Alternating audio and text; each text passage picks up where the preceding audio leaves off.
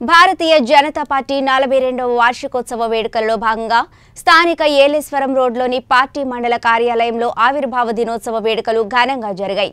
మండల పార్టీ అధ్యక్షులు మేక వీరబాబు ఆధ్వర్యంలో ఈ వేడుకలు నిర్వహించారు.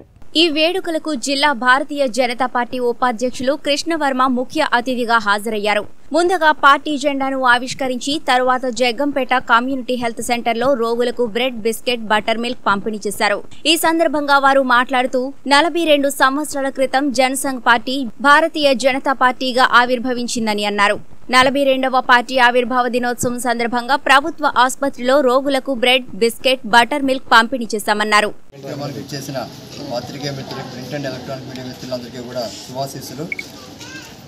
భారతీయ జనతా పార్టీ ఆవిర్భవించి నేటికి నలభై రెండు వసంతాలు అయింది ఏప్రిల్ ఆరో తేదీ పంతొమ్మిది వందల ఎనభై ఎనభై సంవత్సరంలో జనసంఘ నుంచి భారతీయ జనతా పార్టీగా ఆవిర్భించడం జరిగింది. ఆనాటి నుంచి ఈనాటి వరకు కూడా దేశభక్తితో ఒక నిబద్ధత గల పార్టీగా కంటిన్యూ అవుతుంది. ఈవేళ దానిలో భాగంగా జగ్గంపేట పిహెచ్సిలో ఇక్కడ ఉన్న పేషెంట్లందరికీ కూడా మా మండల అధ్యక్షులు మేకా పేరుబాబు గారి ఆధ్వర్యంలో ఫ్రూట్స్ బ్రెడ్స్ బిస్కెట్స్ అలాగే బటర్ మిల్క్ కూడా పంపిణీ చేయడం జరిగింది.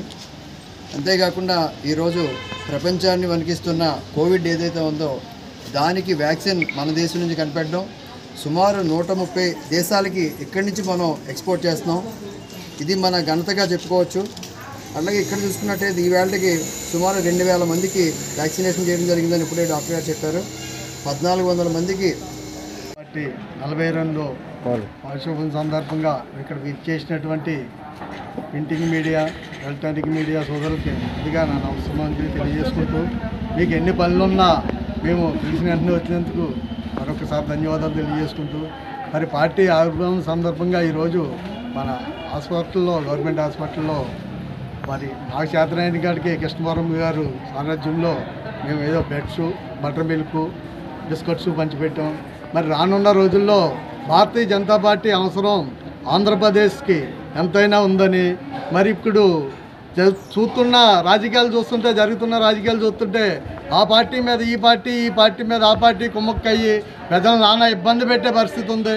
మరి ఇటువంటి పరిస్థితిలో ఖచ్చితంగా భారతీయ జనతా పార్టీ నరేంద్ర మోడీ గారి ఆధ్వర్యంలో ఆంధ్రప్రదేశ్లో అధికారంలోకి వస్తే ఈ కుంభకోణాలు ఇవన్నీ కూడా మొత్తం అరికెడతారని ప్రజలకి నిత్యావసర వస్తువులు సరుకులు మరింత చేరుగా తక్కువ ధరల్లోకి వస్తాయని రానున్న రోజుల్లో భారతీయ జనతా పార్టీని మరి ఉన్నతమైన స్థానానికి తీసుకెళ్ళడానికి మా వంతు కృషి చేస్తామని మరి కార్యక్రమానికి విచ్చేసినటువంటి ప్రింటింగ్ మీడియా ఎలక్ట్రానిక్ మీడియా సోదరులకి నమస్సుమాంజలి తెలియజేసుకుంటూ సెలవు